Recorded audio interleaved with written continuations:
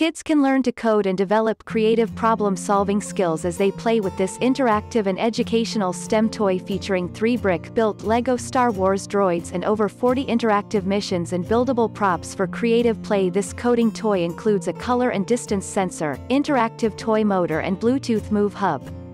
Kids can use the 1,177 pieces to build popular Star Wars characters, including R2-D2, Gonk Droid and Mouse Droid to create their own space adventures.